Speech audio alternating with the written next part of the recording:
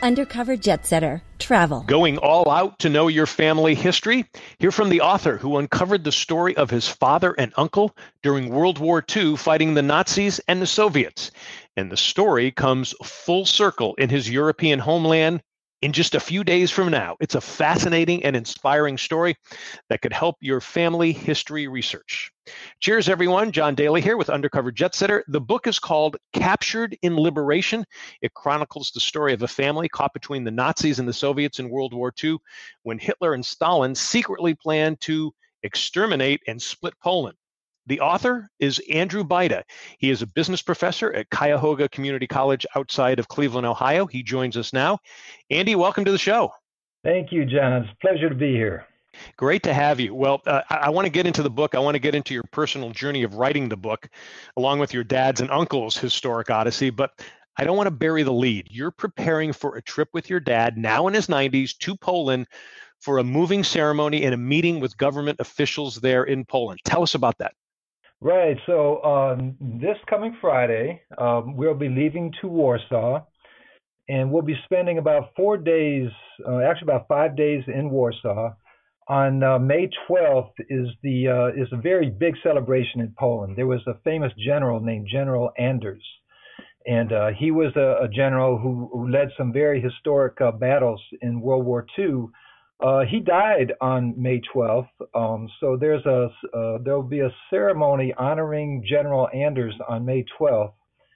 Uh, the night before the ceremony, I'm actually going to be meeting with his daughter, who is the Secretary of State of Poland. Uh, we befriended her in Cleveland. We're going to have a dinner with her, and we expect that to be a, a very uh, moving uh, moving event. Um, the day after the 12th, I just now got a text from a Poland uh, radio station. They spoke to me yesterday and they're getting back to me. They want to do a, a television interview uh, with my father at our hotel on Monday. So there's a lot of events that'll be taking place in Warsaw. Uh, then a couple of days later, we're going to fly on a, on a government uh, military plane to Rome and we will be ta- uh, participating in a ceremony that honors the General Anders historic victory at Monte Cassino. So it'll be May 18th will be the 75 year anniversary of the historic battle of Monte Cassino. Uh, there's a lot of soldiers uh, buried there in the military cemetery from really all around the world. So May 18th will be a ceremony again honoring General Anders. Um, the uh, contingent will be flying back to Warsaw, but my father and I are going to stay in Italy. Uh, I'm going to take him to some places where he was during the war, hasn't been since the war. So we're going to take a tour. We're going to go to Ancona. We'll be going to Bologna uh, to see some historic sites, as well as uh, places where he was stationed at. And then we're going to end the trip. Uh, we're going to go back to his hometown in a small village called Bochnia, which is not too far from Krakow. So we're going to go back there for about the last four or five days. And my I, my first cousins live in the actual property where my father grew up. So wow. we're actually going to be having a, a big uh, celebration there on a Saturday night. They'll be inviting family from all over that region of Poland. I don't know if I told you this, John, but I'm going to have a special guest because there's a, a lady friend of mine who I haven't seen in years. Uh, she's going to come and join us all the way from China. So she's going to be with us for those four or five days. She was also grew very close to my father. So this is going to be quite a trip. Uh, you know, it's going to be about 16, 17 days, fully action packed, and I'm really looking forward to it. Well, now will you be will you be posting photos and videos along the way? I absolutely will. I um from when I be, first began this whole project, uh, I I started a travel blog, and it's uh, my name, first initial, last name, which is abajda.com. That's a b a j d a dot com. And throughout the trip, I'm going to be taking uh, lots of video, lots of photos, and on my website, um, I do have a travel blog. So I'm probably just about every day going to be posting some updates to that blog. Well, I'll I'll definitely be watching it, and then also I'm going to get you I'm going to get you our book on. It's called the TV Studio in Your Hand, so it'll give you some extra tips on uh, shooting video off a smartphone. Uh. So we'll, I'll definitely get you that. We're really looking forward to seeing that. Um, you, you, were you were mentioning how you've had a relationship before with um, the Secretary of State of, of Poland. Um, real briefly, talk talk about uh, an exhibit that you brought from Poland back to Ohio for people to see, because uh, you you live in an area. It's really a large population of uh, Polish Americans. Uh, oh, talk, oh, yeah. talk about that exhibit. Yeah, there's a lot of uh, Polish Americans here. You're absolutely right about that. Um, so I had the book, you know, got out about two years ago, and somehow the book got in the hands of the ambassador, the Poland ambassador to the United States. His name is Piotr Wilczek. So he sent me an invitation to uh, come to uh, Washington D.C. to participate in a service and I brought my father with me, and he and he asked for a private meeting. He wanted to meet my father, you know, who the book is about. So we had this private meeting. I thought it would last about five minutes, and we were in, in there for a good hour. Uh, he was just taken back by the story. He was so fascinated. And when I told him that I give a lot of book talks and that I, you know, I see the pride in a lot of Poles who are finally hearing the stories, he, he made a phone call. He said, I'd, I'd like you to do something for me. And he called the Poland Secretary of State, Anna Maria Anders, who is also the daughter of the General Anders. He got us on the phone together and he said that he'd like to bring a traveling exhibit to Cleveland. And um, it, you know, it tells the story of the Anders Army, which is really what this, you know, th- this whole trip is going to be about. Mm-hmm. Uh, but but he also asked that Anna Maria come and join us in Cleveland because Anna Maria is an avid spokesperson for her father uh, for the Polish military. Uh, she came to Cleveland for a weekend. It was a long weekend, and I thought it would be very formal, very official. But we we we actually have become like family. We had some parties. I took her to a Browns game on a Thursday night. It was the first time the Browns had won in two years. So she says uh-huh. she was the reason. Uh, I gave a talk a couple of days later. I presented her with a Browns jersey. I have it on video, and she was just, you know, it was very emotional. It was really fun, uh, fun, fun whole weekend of events. So ever since, um, you know, that trip, we we've actually stayed in contact. Uh, we we become quite close. Uh, she's very excited because just recently she's been appointed to be Poland's ambassador to Italy. So that, that, that's a that's a real honor for her, and it's a natural fit for her. So as I mentioned, we're actually going to have dinner with her the Saturday before the uh, you know reception honoring her father. And, and I'll tell you something else, John. My, my father uh, has a gift he's going to give her. When he was in a prison camp in Romania during the war, he managed to get a compass from one of the Romanian soldiers, which he used to guide his escape. Wow. He's going to, this is a beautiful compass. It's in a leather case, beautiful compass, and he's going to present it to her when we have dinner on the Saturday night. Wow. And he, he, he couldn't, he wanted to give her something. He couldn't figure what to give her. And he, and he came up with this idea. He's going to give it to her and he's going to say, This is the compass that guided me to join your father's army. And now I give it to you to guide you in your journey. So I'm definitely going to take some photos of that moment.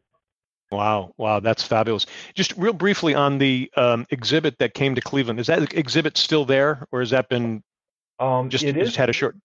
It is still in Cleveland. I actually used it a number of places. Uh, we had talks at local universities, uh, libraries. It is going to be going to Chicago, so we I probably won't have it much longer, but it is going to be traveling to Chicago. But it's an exhibit that has about uh, 16 panels that all show the story of the Anders Army. It's, titled The Trail of Hope. And it's based upon a book that Norman Davies had written about the Anders Army called. The Trail of Hope. So the exhibit just kind of uh, it tells the story of that uh, of that Trail of Hope. Okay, so um, just for for anybody who's listening um, in Cleveland, where is it now, or can they go see it now? Well, right now it's in my bedroom. okay, where's your bedroom? No, we can yeah, right. now. So, so, if people would like to uh, to reach you or find out more about this, the best way is to go to your site, the yeah, abajda. And, and, and, you, you bring up a great point. Um, we do and, until Chicago officially, you know, asks for it because I, you know, I've been told, you know, they're, they're getting it next.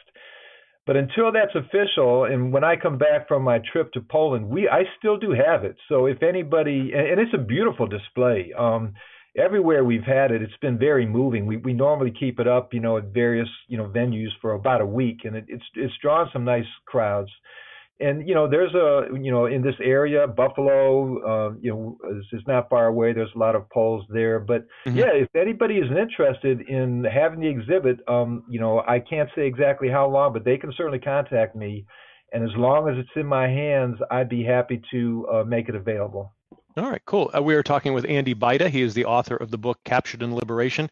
Uh, you can get the book at his website, and he just gave you the site. Let me give it to you again www abajda.com, and that's A-B-A-J-D-A.com.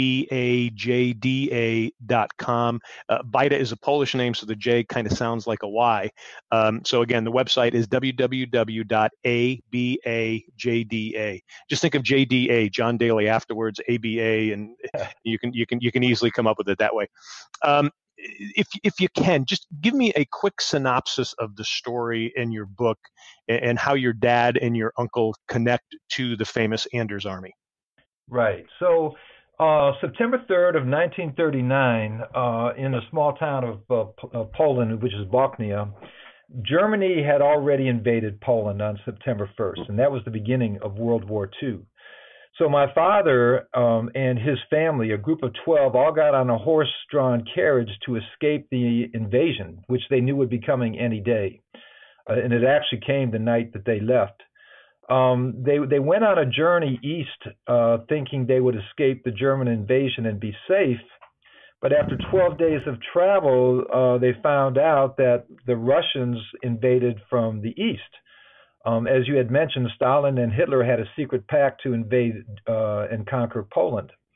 So um, the family found themselves in, the, in a quagmire. They were in the middle. Uh, they were all of a sudden refugees away from their home, and they were in the middle of both the Russian and German occupation. Uh, saw a lot of you know things, a lot of people being shot and killed and taken prisoner. They actually were hostages in a small uh, monastery, you know, crowded with uh, you know hundreds of people, and that that's where the story begins. And from that point on, uh, my father, uh, they they did end up going, making their way back to Poland. They actually felt being in their hometown under German occupation was the lesser of two evils between being that or being a refugee in the Russian occupation, which just goes to show you how dire you know their situation was um, I had an uncle Stefan who, you know, he, he didn't want to just, you know, lay around while all this was happening. So he left on, on a quest to join the army to fight, you know, both sides. He was captured by the Russians, tortured, uh, sent to Siberia, which, you know, he thought was going to be his death sentence. Uh, my father was sent away, you know, the Germans sent him various places to work for them, but he escaped from that and he got word of Anders' army. It was an army that had formed, an army made up of the um, prisoners in Siberia who, who were eventually released because after uh, Germany, um, after Germany uh, went into Russia to invade Russia, uh, Stalin actually released all the prisoners, hoping they would fight for his Red Army. Mm-hmm. And that was where the Anders Army was formed. So it was an army of Polish uh, soldiers who, who were released from prison. Ragtag army started with 20,000, you know, uh, soldiers. It grew to about 60,000 soldiers. Um, they eventually escaped, you know, from uh, Russia to fight with the English. So my uncle was on that, you know, part of the journey, joining the Anders Army. Uh, meanwhile, my father, who was forced to work for the Germans, he was getting word of the Anders army and he was on a quest to join the Anders army. So he basically traveled all across of Europe. Um, you know, he escaped uh, from a work camp in uh, Austria. He was captured in Romania. He escaped from that, and he eventually did join the Anders army in Italy. Uh, he eventually did reunite with his brother Stefan, so they both came different, you know, cir- uh, cir- cir- I'm not sure if I can say that word right, uh, different routes to get there. but it's just a fascinating journey. You know, it's a fascinating journey of of how they survived, how they met, how they participated and fought for the Anders Army. And as you can imagine, there's a lot of adventures uh, along the mm-hmm. way. So it, it was a really fun story for me to write. And it's really fun for me now to share the story with other people and have people learn and understand the bravery of those Polish soldiers and just how pivotal how pivotal they were in the Allied um, uh, uh, battles, you know, that, that took place during World War II.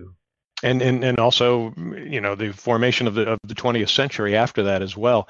Um, I I love the forward of your book. You talk about watching TV as a kid uh, with your dad in the 1960s and shows like Hogan's Heroes comes on. And yeah. if, if, you don't know about the comedy about the German Stalag where Allied forces have been captured by inept Germans like Colonel Klink, Hogan, or Sergeant Schultz, I know nothing. Folks, yep. look it up. It's a very funny show. It's a staple of the 60s.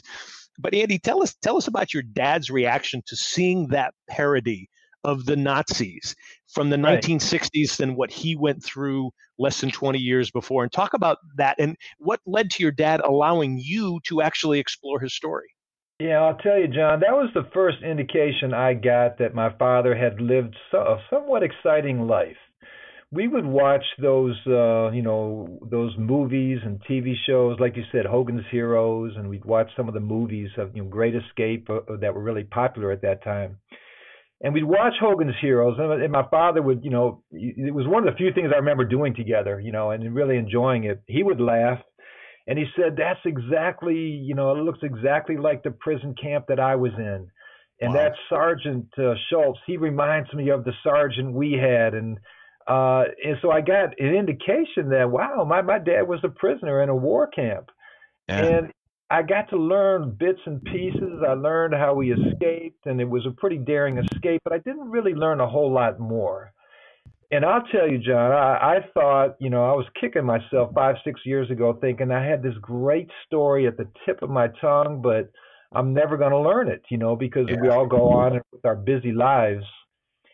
And uh, one day, my daughter, uh, she had been gone for a year in Alaska as a vol- doing some volunteer service she she I took her to visit her grandparents, and uh, my mother said something that prompted Lauren to say, "Grandma, have you ever been accused of being a spy?" And my father sat very calmly and said, "Well, well, I was." And explained how you know he was sent to this prison accused of being a spy. We spent the next two hours getting out of Annapolis, where it happened, uh, all the events surrounding it. So I spent the next you know year plus just every weekend going there to visit to learn more of the story. And the more we talked the more he remembered. Uh, it became you know it, it just became something that was a part of our life. And i had so much fun doing it. I had so much fun talking to him. And i was recording everything and i was writing things down. And it got to the point that i said to myself you know this would make quite a book um, so I started, you know, chronicling it, and I had probably had about 100, 150 pages, and I was about ready to publish. But somebody told me, they said, you know, you really need to go there. You really need to retrace your father's steps. You you need to visit the places he was, see it. Wow. And that's when I planned. That was in the summer of 15. I planned a six week trip uh, to Europe and that made all the difference in the world. When I came back from there, my eyes were opened, uh, and then of course it you know it brought more things for us to talk about. It created more awareness of him, um, and it, it just hasn't stopped from there. I mean, we we just you know have continued this journey. I finally did get the book published, but I'll tell you, John, since the book has pub- has been published, so many things have happened and so many new things I've learned that I'm actually working with my publisher to do an update. And uh, we're going to, you know, after I get back, I'm going to finish my writing and probably add about 50 pages to the book with some pretty incredible stories. Um, and so, you know, and, and I don't know where it's going to end. I mean, it's just it's just been a fascinating journey. Wow, so, that's that's uh, fabulous. I want to I want to get into a, a, little later on, you know, how other people can do it and tips that you might have. But what what has the book done for for for your dad? I mean, he's he's 95 now. What what, what has it done for him? Man, uh, it, it's like I don't know where to begin. It's it's changed his life. I I actually uh, I did a video. I had a, a group here at the college that did a video for me, and it was, it was a beautiful job they did and basically it was to capture the story of you know the Secretary of State coming here and you know and and just to see my father how happy he is. And I mentioned in the video that I truly believe that my father's 94th year at the time he was 94 may be his happiest. He is you go to his house. We unfortunately we lost my mother about a year ago. And my father was her caretaker. You know, he he was there for her. He made sure that you know she she um, would always stay in, in the house um, but um, you know, he he's though now his life is kind of taken on a whole new aspect, a whole new journey. Um, his room is, you know, his house is just filled with books. Um, he was uh, there was a big celebration in Cleveland last weekend, a Polish celebration for Constitution Day. Uh, they asked him to be the um, uh, the grand marshal of a parade Oh, wow. So he, so here I am sitting with him in the back of a car going through the Cleveland neighborhood in, in a parade, and the smile just won't leave his face. He he is um you know he is just living a life that you know after his story be hidden all these years. He's a very humble, quiet man. I even asked him. I said, "Did you tell your friends you were in the parade?" He said, "No, I didn't want to. You know, I don't want to sound like I'm bragging." but but you can just see his joy, his happiness. You know, I have pictures with him, the Cleveland mayor, together, and it, it, it it's hard to explain just how. And if you look at the website, you know, the videos, the pictures of him, you you would just see the happiness on him. So wow. it, it's really cool for me to see this quiet, humble, religious man who kept this, you know, story to himself, you know, and raised a family, you know, with through hard work and all that that all of a sudden he's he can enjoy the fruits of his labor. And you know he's almost like we you know we all laugh he's becoming the rock star. So it, it's really been a lot of fun for me to see that. And, and, and you know I'll be with him on this you know trip to Europe. You know people say how can your dad travel? He's 95 you know we're going to be 17 days in Europe. Um he's he's probably going to be the one that's I'm probably going to be the one dragging. You know he's just got so much energy. He's so excited about this trip that uh, I'm really looking forward to going on it with him. Uh, that's so good. I'll be I'll be anxious to see uh, the the uh, video and, and the photos as well. Uh, we were talking with Andy Bajda. He is the author of the book Captured in Liberation. It's available at his website www.abajda.com. He and his dad Ian, who who is still alive, we've just been talking about. They're heading to Poland next week for a ceremony remembering Anders' army and their fight against the Nazis. Andy, my my wife Terry is a high school buddy of yours, and and she she she was the first one to turn me on to your book. And you and I were going to talk a while back, but we lost my father-in-law, Terry's dad, and it's funny we have we have a number of stories from him during the depression in the mill towns of pennsylvania and you know kind of family stories that kind of explain that. But you know i, I wish we had done more. You know i shoot a tv show on an iphone and i, I feel like you know i didn't chronicle enough Right. What's your advice to people if they've got either a grandfather or a grandmother or an older father, or an older mother? What's your advice to them? Is just just just do it, just chronicle it, write it down. Uh, do you have any ways? Right. Yeah. Um, I, I, certainly do have uh, something to say. But first of all, I, would like to say I knew Terry's dad. Right. Uh, what a great guy he was. Uh, I, I, was really saddened to hear, you know, of, of the loss, and, and, he, he he was quite a man. I remember him from high school. But I think the the important thing is, you know, so many people now with social media, you know, it's all about, you know, the instant gratification. We, we, we don't talk as much. We, we we don't listen. We just, you know, want to look at what's the, you know, the latest video or mem or, you know, it's all that instant gratification. But it's so important to talk and listen. And while we still have our parents or grandparents or you know family members take the time to sit and listen and talk ask questions get out an atlas you know to try to see and understand where they were just take that time um you know we we need to put down our phones turn off the TV, uh, you know, maybe get a bottle of wine and just talk. I really think that you know I, I see that more in in Europe in the European culture than here. Uh, but but I think it's so important that we do that because, like I said, John, I came probably a blink of an eye from not knowing my father's story. Had my daughter not asked the question, you know, if, if my if my mother had ever been a spy, I can't tell you how my life has changed once I started listening and learning and chronicling. It's changed everything for me. And you know, it, it could have so easy. And, and then, then I think of the times we almost lost my father. You know, to a heart attack. You know, we thought he was gone. Wow. You know, how had that happened, you know, um, I wouldn't have the richness. So you know, while we and and, and you know, don't make excuses. Don't don't say, well, I should have done it. You know, start now. Mm-hmm. Take the time to talk to your family members. Uh, take uh, you know, and with social media, with you know the, the technology we have, take videos. Uh, you know, take photos. You know, document it, share it because that, that's treasure. You know, that, that that that history, that family history, is a treasure and you never know what you're going to uncover. And and I really believe that the more you learn, you know, from our about our family, about our history, the more you learn about yourself. Um, it, it it it's just you know, like I said, for me, it's just changed my life, and I have no idea where it's going, but it's just added so much richness uh, to my life that I, you know, I I can't imagine now where I would be if I didn't have all this behind me. It's it's interesting. I'm uh, I'm in the midst of reading a book uh, by Ben Shapiro. He's the conservative, young conservative writer, and I know a lot of people who are on the liberal side wouldn't want to read him.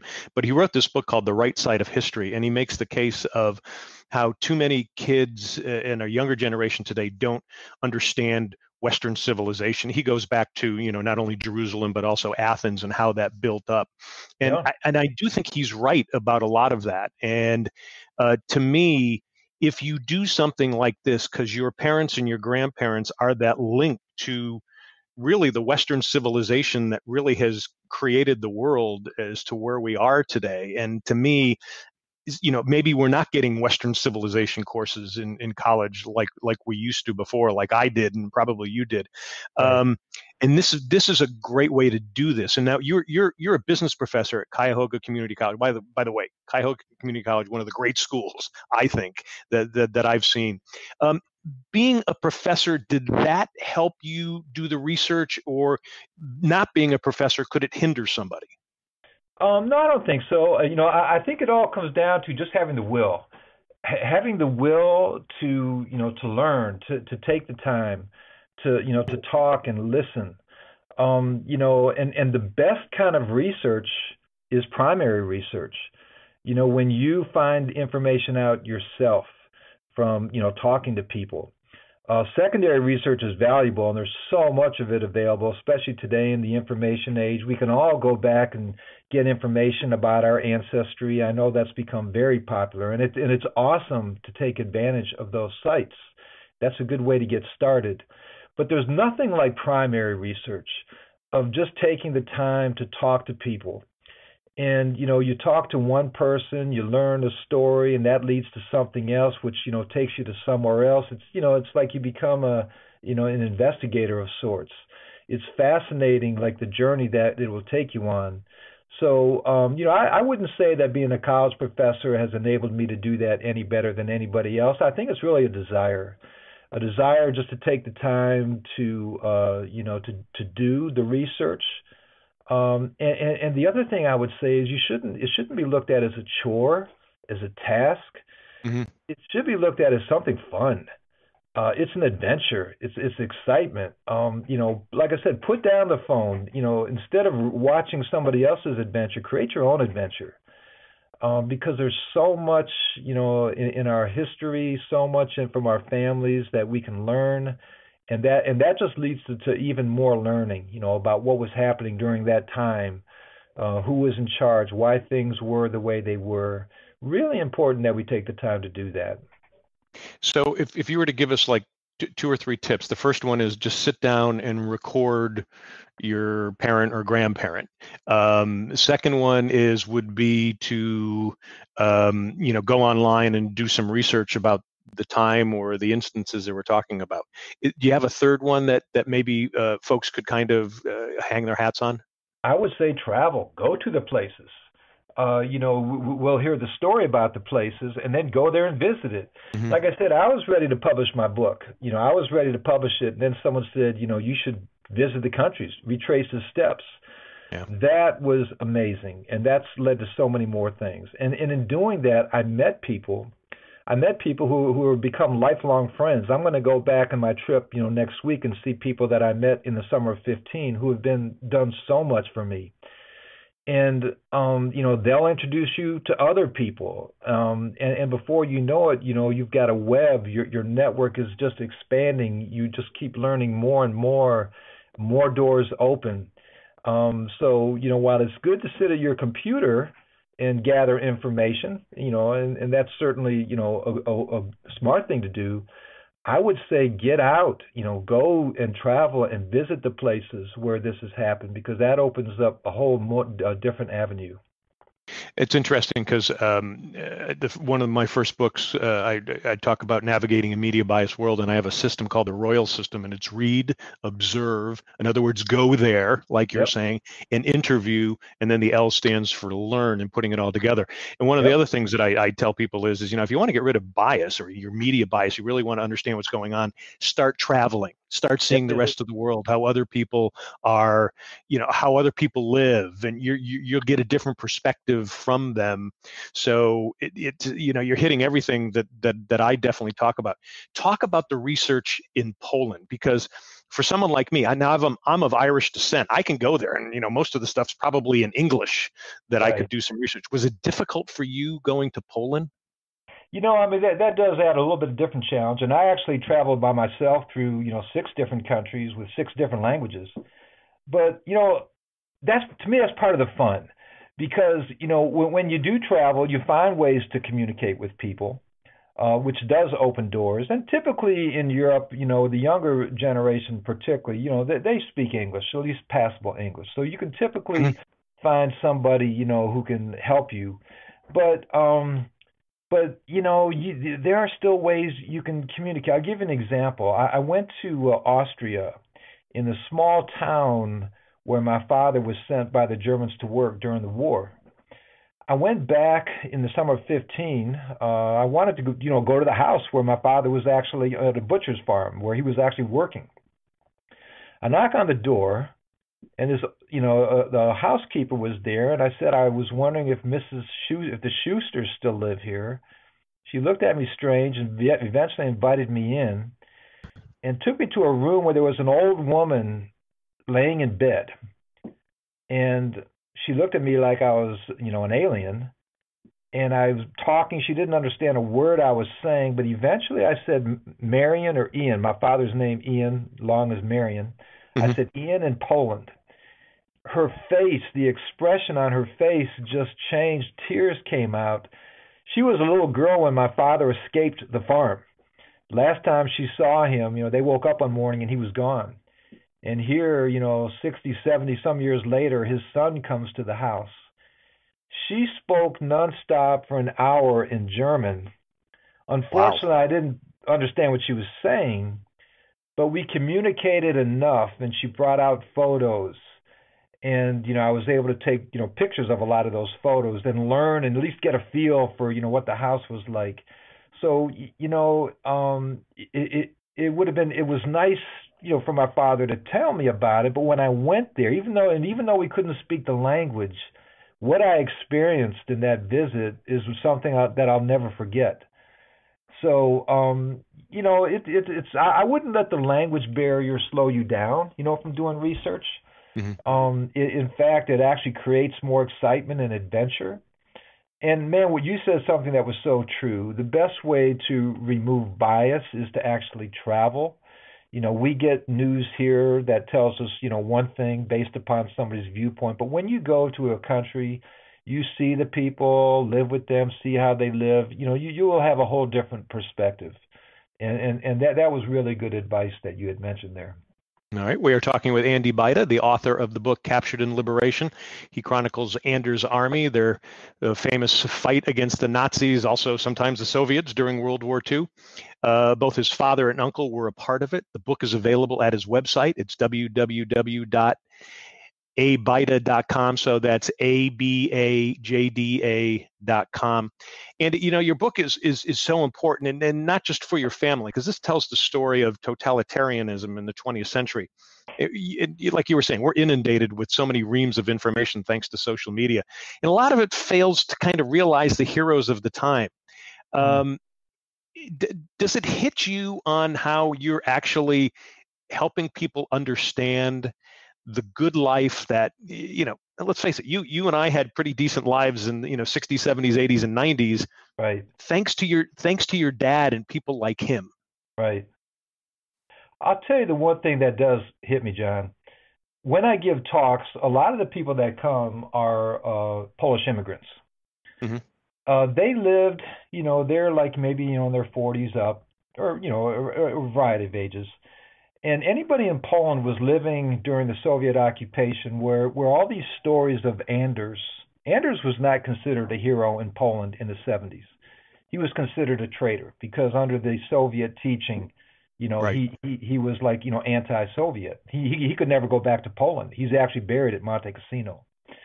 So I tell these stories, and people, I've, I've actually had people of Polish descent come up to me with tears, say, thank you it is so nice and refreshing that we can now be proud. We can learn and understand the story, you know, of our heroes, uh, which were hidden from us for so long. So, you know, it, it's it's really rewarding for me to see, you know, how how so many people from Polish descent can feel proud. And it's also important for young people here to know and understand, you know, the true true history um, and, and, and these things that we learn now should also be signs of what we should not allow mm-hmm. to happen in the future, because there are certainly lessons to be learned. Um, you know, you mentioned about the totalitarianism. It's dangerous. You know, too much nationalism. it, it is dangerous. Uh, we're we're better when we're all working together, you know, towards peace than we are, you know, in in uh, this nationalism that you know where, where countries are, um, you know, kind of attacking one another. But there are so many lessons that are to be learned. So you, are right. I mean, I, I have learned a lot from this uh, from you know from this journey that I've taken. And you are right too. We we should be very thankful and appreciative for what the people of our parents' generation did because they were the greatest generation. The hardships that they suffered, we can't even imagine today. And it's important that you know we acknowledge that and understand that but also learn from that so that we don't allow those same mistakes to happen again. No, I agree. My dad also fought in Italy, so uh, and he's he's been long gone. But I got as many stories as I could. His, his stories were more. He ended up being a chef for the generals, and he he knew opera, so he actually directed opera when he was in Italy. He says, "Oh, it was the greatest time of my life." So I wish he was still alive. He could tell more of those stories. Um, right. Um, you, you, mentioned on this, it, you know, things kind of come a little full circle. You know, Germany is now a part of the EU, no longer a military threat. The Soviet Union is really no longer communist. It's actually, a lot of people would say, a totalitarian dictatorship. Uh, a lot of, you know, neighboring states there think that they're being threatened again by the Soviet Union. Uh, we see, we're seeing a wave of nationalist populism that's sweeping yep. that area and a good part of the world. A lot of it has to do with anti-immigration. Uh, Poland seems to have moved in that direction. Uh, let me ask you: Do you do you agree one with that assessment, and what do you see when you're over there as far as what's happening, you know, politically and geopolitically? Yeah, you know, and this kind of brings up what you said earlier about, you know, to remove biases, it's really good to go someplace. So, you know, I, I've spent some time in Poland in the last few years. I'll, I'll be there again uh, next week. And what I see when I go there, um, well, the one thing you don't see is you won't see a lot of immigrants. You won't see people of color. You know, so so that that that you won't see. Uh, but what you do see is, you know, it's a free country, uh, free election, free press. The press is actually owned about 70% of it is owned by liberal um, you know companies. Um, you do have the people who have you know the freedom to make decisions and choices. And the other thing to keep in mind that Poland, throughout their history, they have been invaded, and have I mean Poland was literally wiped off the map uh, for 150 years. I was actually the MC at a concert, so I'm learning a lot of this stuff myself in uh, November.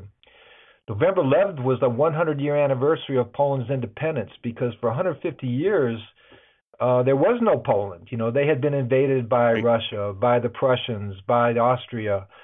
So they're very sensitive. You can you can understand why they would be sensitive, uh, you know, in terms of having people come into the country. Mm-hmm. Now, now, that being said, you know, I, I think you know, and there's a lot and there's a lot of discussion in the government. You know, there is something to be said for allowing immigrants to allow new ideas, and I do know they allow, allow a lot of people from the Ukraine in, but there needs to be you know discussion. Um, immigration is a good thing, but you know, it needs to be done responsibly.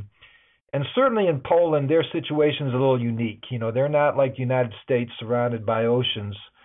Uh, they're surrounded by, you know, over the course of history have been natural enemies.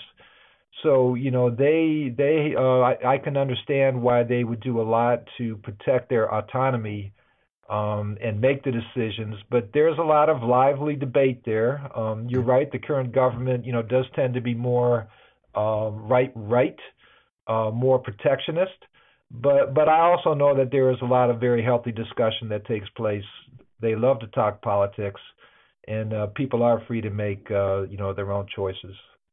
And would you would you recommend it as as a place for for someone to visit? Let's say, okay, I'm not of Polish descent, but I love going to new places. I have not been to Poland yet. It would would going to Warsaw or Krakow be a good trip vacation for somebody who likes to explore?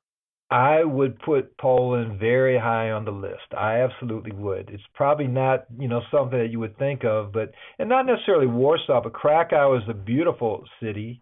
Mm-hmm. Uh, Gdansk on the Baltic Sea is a very historic city.